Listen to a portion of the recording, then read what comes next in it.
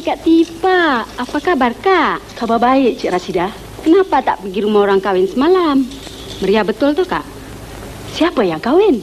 Alah, kakak ni buat-buat tak tahu pula. Dah dia izinkan, dia tanya pula. Cik Jamil yang kahwin ya? Iyalah, siapa lagi? Semua orang muji kakak tahu. Mereka mengatakan kakak yang paling timbang rasa. ya, memang saya izinkan Cik Jamil kahwin. Celaka punya Jamil. Malam ni pun ada keraman lagi tahu kak? Tiga hari tiga malam. Tiga hari tiga malam?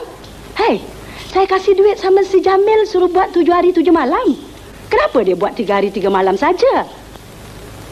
Kak, kalaulah ada perempuan macam kakak dalam dunia ini, saya rasa dunia ini akan aman dan tenteram.